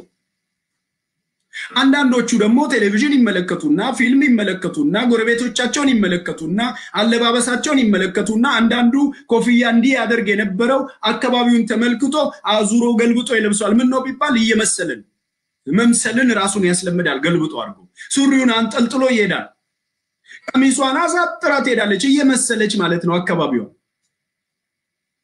መምሰል። አሁን እዚህ ጋር ጳውሎስ ግን ምን አለው ጢሞቴዎስን? ጢሞቴዎስ ሆይ እግዚአብሔርን መምሰልን ራስህን አስለምደዋል። ሰው እግዚአብሔርን መምሰልን በሚለምድበት ጊዜ በመከራ መታገስ የሚችል ይሆናል። ለምን? እግዚአብሔርን መስሎ እንደሚኖር የሚያውቅ ነው። ከመከራ በኋላ ምን እንዳለ ማየት የሚችል ነው። መከራውን ለማለፍ ሌላ አቋራጭ አይፈልግም። ወገኖቼ መከራን በአቋራጭ ለመወጣት አትሞክሩ። ፈተናን በአቋራጭ ለማሸነፍ አትሞክሩ። ጌታ ሆይ ወደ ፈተና አታግባን። ይሄ ትልቁ ጸሎታችን፣ ከክፉ ሁሉ አድንን እንጂ ትልቁ ጸሎታችን። ነገር ግን ፈተና ከመጣ ከጽድቅ ጋር ተስማምተን በእግዚአብሔር እጅ ራሳችንን እንጥላለን እንጂ በጌታ ጸጋ እጅ ራሳችንን እንጥላለን እንጂ መከራውን መታገስ አቅቶን በአቋራጭ ወይም በራሳችን calculation መውጣት የለብንም። ለምን? በክርስትና ቅጥር ውስጥ የሚኖረው ሰው ይሄን ማድረግ አይችልም። ይሄ ጥሪው አይደለም። በመከራ ታገሱ። ከዛስ በጸሎት ጽኑ። የአዲሱ ሰው ባህሪ በመከራችሁ ሰዓት በጸሎት ጽኑ። የእግዚአብሔርን ፊት በመፈለግ ጽኑ። አቤቱ ጌታ ሆይ ድረስልኝ፣ እርዳኝ፣ አንተን ተስፋ አድርጌያለሁ። ውሾች ከበውኛል፣ አመፀኞች ከበውኛል፣ ነገሩ ከአቅሜ በላይ ነው፣ እርዳኝ ብላችሁ በጸሎት ጽኑ። ጸሎት አቋርጣችሁ ብድግ ብላችሁ ሌላ መፍትሄ አትፈልጉ። የአዲሱ ሰው ባህሪ የአዲሱ ሰው ባህሪ በክርስትና ቅጥር ውስጥ የሚኖረው ሰው ባህሪ እግዚአብሔር አምላክ በዚህ ጸጋ በዚህ ጥበብ በኢየሱስ ክርስቶስ ስም ይባርካችሁ ወገኖች። የአዲሱ ሰው ባህሪ በክርስትና ቅጥር ውስጥ የሚኖረው ሰው ባህሪ ቅዱሳንን በሚያስፈልጋቸው እርዱ። አስቀድሞ ዘራፊ ነበር። አስቀድሞ አጭበርባሪ ነበር። አስቀድሞ እሱ የሚፈልገውን ነገር ለማግኘት እጁ የቻለችውን የሚያደርግ ሰው ነበር። አሁን ግን ይለናል ቅዱሳንን በሚያስፈልጋቸው የሚረዳ በዚህ ዓለም ላይ ስልጣን ባለው መንፈስ አለቃ በጨለማው ገዢ ስልጣን ያለ ክርስቶስ የቁጣ ልጅ ሆኖ በኖረበት ጊዜ ከሌላው መንጠቅ ደስ ያሰኘው የነበረው ሰው አሁን ግን ተለውጦ በክርስትና ቅጥር ውስጥ ስለሚኖር በመንፈስ ቅዱስ ስለሚመራ ቅዱሳንን በሚያስፈልጋቸው ወንድሞችን በሚያስፈልጋቸው የሚረዳ ሆነ። ለዚያውም ተርፎት ሳይሆን ከጉድለቱ የአዲሱ ሰው ባህሪ። ዛሬ እኮ እየነጠቁን ነው ክርስቲያን ነኝ የሚሉ ዛሬ እኮ እየወሰዱብን ነው እንደምንም በቃ። እንዲያውም አንድ እግዚአብሔር ሰው ምን አለ? እጅ ጥምዘዝ አለ። ጠምዝዞ የመውሰድ ያህል ነው። አዲሱ ሰው ርኅሩ ነው ወገኖች። አዲሱ ሰው በእግዚአብሔር ፊት የሚታይ ልብ ያለው ነው፣ የሚራራ ነው፣ የሚሸከም ነው። ቅዱሳንን በሚያስፈልጋቸው የሚረዳ ነው። እኔ ብሆን በዚህ ቦታ ያለሁት እህቴ የምትሰቃየውን ስቃይ፣ ወንድም የሚሰቃየውን ስቃይ የምሰቃየው እኔ ብሆን ይሄ ሁኔታ የገጠመው እኔን ቢሆን ብሎ ያስባል። እንግዶችን ለመቀበል ትጉ፣ የሚያሳድዷችሁን መርቁ መርቁ እንጂ አትርገሙ። አዲሱ ሰው መራቂ ነው። አሮጌው ሰው በክርስትና ቅጥር ውስጥ የሚኖረው ሰው መራቂ ነው። የሚያሳድዱትን ለዚያውም አዲሱን ሰው ተመልከቱ። ከአሮጌው ጋር ነው የሚያነጻጽረው። ከአሮጌው ጋር ያነጻጽረዋል። ምን ይላል? አሮጌውን ሮሜ ምዕራፍ ሶስት ላይ ጳውሎስ ቅድም ሲያሳየን ነበር። ምን ብሎናል? ሮሜ ሶስት ሀያ ሶስትን ሄዳችሁ ስትመለከቱ አንድም የለም ይላል። ጻድቅ የለም አንድስ እንኳ፣ አስተዋይም የለም እግዚአብሔርን የሚፈልግ ሁሉ ተሳስተዋል፣ በአንድነትም የማይጠቅሙ ሆነዋል። አስቀድሞ ነግሮናል። አሁን ደግሞ እግሮቻቸው ደምን ለማፍሰስ ፈጣኖች ናቸው፣ እግዚአብሔርን መፍራት በዓይኖቻቸው ፊት የለም፣ የሰላምን መንገድ አያውቁም ብሎ ስላልተለወጡ ሰይጣን ስለሚሰራባቸው ከክርስትና ቅጥር ውጭ ስለሚኖሩ ሰዎች ሲነግረን ከቆየ በኋላ በቀደሙት ምዕራፎች ላይ እዚህ ጋር ሲደርስ ለተለወጡ ክርስቲያኖች ሲናገር እንዲህ ይላቸዋል፣ የሚያሳድዷችሁን መርቁ። ትላንት ሳያሳድዷቸው ሆን ብለው የሚያሳድዱ ደም ለማፍሰስ የሚራመዱ ነበሩ። አሁን ግን ስለተለወጡ የሚያሳድዷቸውን እንኳን የሚመርቁ ናቸው። በክርስትና ቅጥር ውስጥ የሚኖር ሰው መራቂ ነው ወገኖቼ፣ ረጋሚ አይደለም። የሚያሳድዱትን የሚጸልይላቸው ነው። አቤቱ እግዚአብሔር ወደ ማስተዋል አምጣቸው፣ ባርካቸው፣ እውነቱን እንዲያውቁ እለምንሃለው ባይ ነው። ለምን? በክርስትና ቅጥር ውስጥ ነው የሚኖረው። አሁን እኮ የሚሳደብ ነው ያለው። አሁን እኮ የሚራገም ነው ያለው። እስቲ ፌስቡኩን ተመልከቱት፣ እስቲ ዩቱቡን ተመልከቱት። ለዚያውም ክርስቲያን ነኝ ከሚለው በእግዚአብሔር ቃል እውነት የሚመራ ሳይሆን በራሱ ሀሳብ ውስጥ የሚመላለስ ከክርስትና ቅጥር ውጭ የኖረ ክርስቲያን ነኝ ብሎ የሚል መሆኑን የሚያሳይ ነገር ነው የምታዩት። ለምን መርቅ ተብሎ ሳለ ይረግማል። መርቁ መርቁ እንጂ አትርገሙ። ቅጥሩ ውስጥ ከሆናችሁ መርቁ እንጂ አትርገሙ። ወገኖቼ የኔና የእናንተን ቋንቋ በኢየሱስ ስም ጌታ ይለውጥልን። የሚመርቅ ልብ፣ የሚመርቅ አንደበት የሚመርቅ በክርስቶስ መንፈስ ቁጥጥር ስር የሆነ ባህሪ ጌታ ይስጠን። የአዲሱ ሰው ባህሪ ክርስትና በቅጥር ውስጥ ያለ ነፃነት ነው። አያችሁ፣ አፍ ያመጣለትን ሁሉ እንዲናገር አይፈቀድለትም። የመጣለትን ሁሉ ተናግሮ ሰው ክርስቲያን መሆን አይችልም። ምክንያቱም ይኸው እዚህ ጋር እኔ አይደለሁም የምለው እኔ አይደለሁም ቃሉ ነው የሚለው። የሚያሳድዷችሁ መርቁ መርቁ እንጂ አትርገሙ። ደስ ከሚላቸው ጋር ደስ ይበላችሁ፣ ከሚያለቅሱ ጋር አርቁ። ሰው በክርስትና ቅጥር ውስጥ ሲኖር የወንድሙ ደስታ ደስታው ነው፣ የወንድሙ ሐዘን ሐዘኑ ነው። ምን አገባኝ እኔ ምን ቸገረኝ፣ ጉዳዩ እኔን አይመለከትም አይልም። እንዲህ ያለ ልብ አይኖረውም። አዲሱ ሰው ሰውን በክርስቶስ ነው የሚያየው። ከእንግዲህ በኋላ ማንንም በስጋ እንደሆነ አናውቅም ይላል ሐዋርያው ጳውሎስ። ማንንም በስጋ እንደሆነ አናውቅም። ማንኛውንም ሰው ስንመለከተው ክርስቶስ በሚያይበት መነጽር ነው የምናየው ማለቱ ነው። ክርስቶስ በሚያየው እይታ ነው የምናየው ማለቱ ነው። ክርስቶስ ያልዳነን ሰው ሲመለከት እንደሚራራለት፣ ወደ መንግስቱ ጥሪ እንደሚያቀርብለት፣ ያልዳነን ሰው ሲመለከት እንደሚራራለት፣ ወደ መንግስቱ ጥሪ እንደሚያቀርብለት፣ በርኅራሄ እንደሚመለከተው እኛም እንደዛ ነን። መስቀል ላይ የተናገረውን አይተናል። ፈሪሳውያንን ሲናገር ነግሮ ነግሮ ነግሮ አልገባቸው ሲል እምቢ ሲሉ በምርጫቸው ወደ ጥፋት ሲሄዱ እናንተ የእባብ ልጆች አላቸው፣ እናንተ ፉኝቶች አላቸው። አዲሱ ሰው አያችሁ፣ የሚረግም ሳይሆን የሚመርቅ ነው፣ የሚያቀና ነው። ደስ ከሚላቸው ጋር ደስ የሚለው ነው፣ ከሚያለቅሱ ጋር የሚያለቅስ ነው። እርስ በርሷችሁ በአንድ ሀሳብ ተስማሙ፣ የትዕቢትን ነገር አታስቡ፣ ነገር ግን የትህትናን ነገር ለመስራት ትጉ። ልባሞች የሆናችሁ አይምሰላችሁ። እርስ በርሳችሁ በአንድ ሀሳብ ተስማሙ። እንደ ክርስቲያን በአንድ ሀሳብ የክርስቶስ በሆነ ሀሳብ እግዚአብሔርን በሚያከብር ሀሳብ ትውልዱን እግዚአብሔርን ወደ ማወቅ በሕይወቱ አንድ እርምጃ ወደ መለወጥ ወደ ማደግ በሚያመጣ ሀሳብ ተስማሙ። በአንድ ሀሳብ ተስማሙ። ጌታ ይርዳን። ጌታ እግዚአብሔር ይርዳን። የትዕቢትን ነገር ፈጽሞ አታስቡ። ትዕቢተኛ ሆኖ ሰው እንዴት የጌታ ሊሆን ይችላል? ጌታ ለትሑታን ጸጋ ይሰጣል፣ ትዕቢተኞችን ይቃወማል አይደል እንደ የተጻፈው? እንዴት አድርጎ ታዲያ ሰው ትዕቢተኛ ሆኖ የጌታ ሊሆን ይችላል?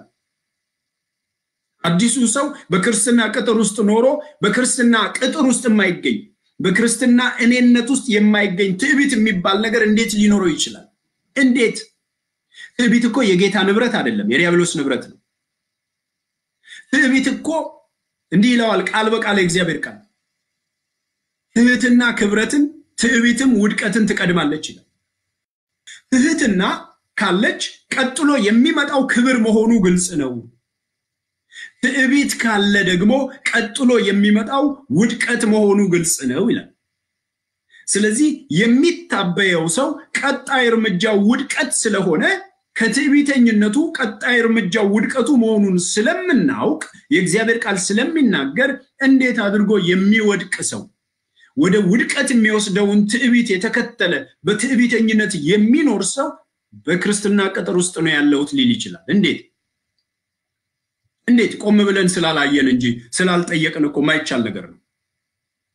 ስላልጠየቅን ነው እንጂ ማይቻል ነገር ነው። እንዲህ ያለ ህይወት ፈጽሞ አይስማሙም፣ ፈጽሞ አይግባቡም። የጌታ መሆንና መታበይ ክርስቲያን መሆንና ክርስቲያን የማያፈራቸውን ፍሬዎች ማፍራት አብረው ሊሄዱ አይችሉም። በኢየሱስ ስም በእኛ ህይወት ስፍራ ይጡ፣ በእኛ ጓዳ ስፍራ ይጡ። በፈቃዳችን ከጌታ ጋር ከመስማማታችን የተነሳ እነዚህ ባህሪዎች በጌታ በኢየሱስ ክርስቶስን ፈጽመው ይለዩን፣ ፈጽመው ይውደቁ ከኛ።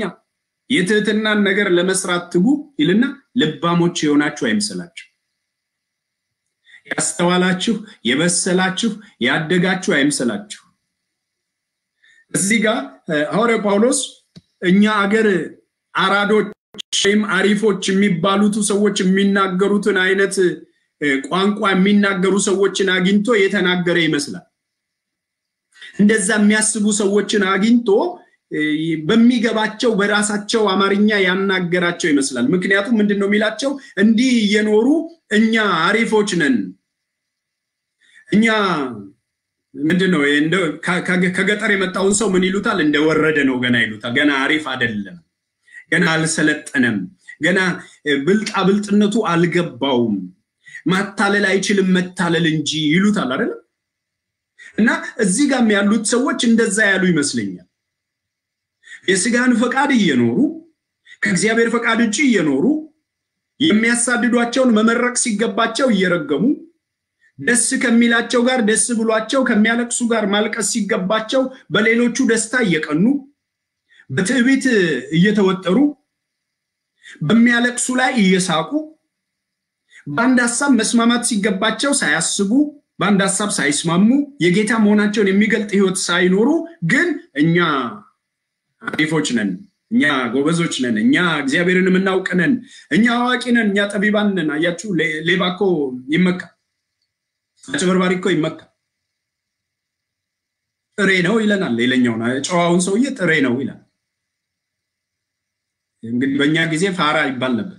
አሁን እንደሚባል አላውቅም። ጥሬ ነው፣ ፋራ ነው፣ እንደወረደ ነው ይባላል። ማን ነው ጥሬ ነው የሚለው ቢባል ሌባው።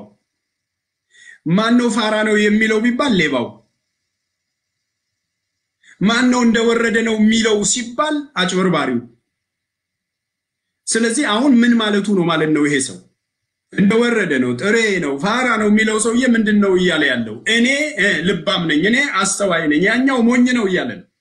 ያኛው ልክ አይደለም፣ ያ ከመንገድ ስቷል እያለ ነው። ጳውሎስም እዚህ ጋር እንደዛ ስላሉ እንዲህ አይነት አመለካከት ስለነበራቸው በክርስትና ቅጥር ውስጥ ሳይኖሩ ራሳቸውን እንደ ክርስቲያን፣ እንደ አስተዋይ፣ እንደ ጠቢብ ስለቆጠሩ ልባሞች የሆናችሁ እንዳይመስላችሁ ጎበዞች የሆናችሁ እንዳይመስላችሁ፣ አስተዋይ ክርስቲያን የሆናችሁ እንዳይመስላችሁ፣ እንደ ክርስቲያን ሳትኖሩ የክርስትናን ፍሬ ሳታፈሩ ጌታን ደስ የሚያሰኘው ምን እንደሆነ ለይታችሁ ሳታውቁ እንደ ፈቃዳችሁ እየተመላለሳችሁ የዚህ ዓለም ፍሬ በእናንተ ውስጥ እየተገኘ እኔ ክርስቲያን ነኝ ብላችሁ ስትናገሩ ይሄ የአስተዋይነት ምልክት አይደለም፣ የልባምነት ምልክት አይደለም፣ ለእግዚአብሔር የመኖር ምልክት አይደለም አላቸው። እግዚአብሔር ዓይናችን ይክፈት። ቅዱሳን ወንድሞች እህቶች ስለኛ ልባምነት የሚመሰክረው የእግዚአብሔር ቃል ይሁን። ስለኛ ማስተዋል የሚመሰክረው የእግዚአብሔር ቃል ይሁን። ስለ እኔና ስለ እናንተ ቅድስና የሚመሰክረው የእግዚአብሔር ቃል ይሁን። ያኔ ነው ክርስትና ትክክል የሚሆነው። ለማንም ስለ ክፉ ፈንታ ክፉ አትመልሱ፣ በሰው ሁሉ ፊት መልካም የሆነውን አስቡ። ቢቻላችሁ በእናንተ በኩል ከሰው ሁሉ ጋር በሰላም ኑሩ። ተወዳጆች ለቁጣው ፈንታ ስጡ እንጂ በቀል የኔ ነው፣ እኔ ብድራቱን እመልሳለሁ ይላል ጌታ ተብሎ ተጽፏልና። አያችሁ የክርስትና ፍሬ፣ አያችሁ ወንድሞቼ እህቶቼ፣ የክርስትና ፍሬ። ጠላት ግን ቢራብ አብላው፣ ቢጠማ አጠጣው። ይህን በማድረግ በራሱ ላይ የፍም እሳት ትከምራለህና ክፉን በመልካም አሸንፍ እንጂ በክፉ አትሸንፍ። አያችሁ መርሁ ራሱ principle ኡ፣ ያኗኗር ዘይቤው ራሱ የተለየ ነው። የክርስትና ቅጥር ውስጥ የሚኖር ሰው እና ከክርስትና ቅጥር ውጭ የሚኖረው ሰው። በክርስትና ቅጥር ውስጥ የሚኖረው ሰው አሁን ጳውሎስ በጠቀሳቸው መንገዶች ነው የሚኖረው። ከክርስትና ቅጥር ውጭ የሚኖረው ሰው ደግሞ በተቃራኒው ነው የሚኖረው። ስለዚህ አሁን ምክሩ እዚህ ጋር በእግዚአብሔር ቃል ውስጥ የምናገኘው የአዲሱ ሰው ባህሪ በክርስትና ቅጥር ውስጥ መኖራችንን የሚያሳየው ባህሪ እኔና እናንተ ወደ ጌታ ከመምጣታችን በፊት የነበሩትን ባህሪያዎች ባህሪዎች፣ አስተሳሰቦች፣ ምርጫዎች፣ ውሳኔዎች በሙሉ ነፃ ከመውጣታችን የተነሳ ስጋን ከክፉ መሻቱና ምኞቱ ጋራ የክርስቶስ የሆኑቱ ሰቀሉ ተብሎ እንደተጻፈ መስቀላችንን የሚያሳይ ኑሮ ኑሩ ነው የሚለን። የክርስቶስ ኢየሱስ የሆኑቱ ስጋን ከክፉ መሻቱና ምኞቱ ጋራ ምን አደረጉ? ሰቀሉ። እግዚአብሔር ዓይናችን ይክፈት። ወንድሞቼ እህቶቼ፣ እንግዲህ ቃሉ በቅጥሩ ውስጥ ኑሩ ነው የሚለን። በቅጥሩ ውስጥ እንድንኖር ጌታ ይርዳል። እግዚአብሔር ቢፈቅድና ብንኖር በቀጣይ ትምህርት እስክንገናኝ ድረስ ለዛሬ እዙ ጋር ያጠቀልላል። በአጭሩ እንደ ክርስቲያን መኖር ማለት በእግዚአብሔር ፈቃድ መመራት ማለት እንጂ እንደ ተጻፈው መኖርን ራስን ማስለመድ ማለት እንጂ ራስን በመግዛትና በመንፈስ ቅዱስ ፍሬ መገለጥ እንጂ እኔ ድኛለሁና እንዴትም ብኖር የፈለገኝን ባደርግ ምንም ችግር የለም ብሎ በማሰብ ራስን ማሞኘት እኔ ልባም ነኝ እኔ አስተዋይ ነኝ ብሎ ማሰብና መገመት አይደለም። እግዚአብሔር አምላካችን ዓይናችንን ይክፈት። ነገ ጠዋት 11 ሰዓት ላይ ከጠዋቱ 11 ሰዓት ላይ ከእንግዶቼ ጋር እንገናኛለን። ነገ በሚኖረን ጊዜ በሐሰተኛ አስተማሪዎችና በወቅቱ የኮሮና ቫይረስ ጉዳይ ላይ እንግዶች ጋብዣለሁ። እንግዶችን መጋበዝ አትርሱ። በሚኖረን ፕሮግራም ላይ ሌሎች share እያደረጋችሁ እንዲካፈሉ አድርጓቸው። እንጸልይና እንጨርሳለን። አምላካችን እግዚአብሔር ሆይ በናዝሬቱ በጌታ በኢየሱስ ክርስቶስ ያው ስም እናመሰግንሃለን። በምሕረትና በቸርነት ብዛት እኔና ወገኖቼን በሕይወትና በጤንነት አኑረህ ለዚህ ምሽት ስላደረስከን ደግሞ ጌታ ሆይ በክርስትና ቅጥር ውስጥ መኖር ማለት ራሳችንን ሰውነታችንን ሕያውና ቅዱስ መስዋዕት አድርገን ለአንተ ማቅረብ ማለት እንደሆነ እንድናስተውል የቃልህን ፍቺ ስላበራህልን ስም ብሩክ ይሁን። እንደሰማነው ኖረን እንድናፈራ በኑሯችን ፍሬ አንተን አክብረን ሰዎችን ወደ ብርሃንህ እንድናመለክታቸው በጌታ በኢየሱስ ክርስቶስ ስም እርዳን። አባቶይ በሰላም ውለናል፣ በሰላም አሳድረን። በነገር ሁሉ ስምህ የተባረከና የተመሰገነ ይሁን። ከፍ ከፍ በልልን በጌታችን በመድኃኒታችን በኢየሱስ ክርስቶስ ዘላለማዊና ጻድቅ ስም ብለህ ስማን። አሜን አሜን።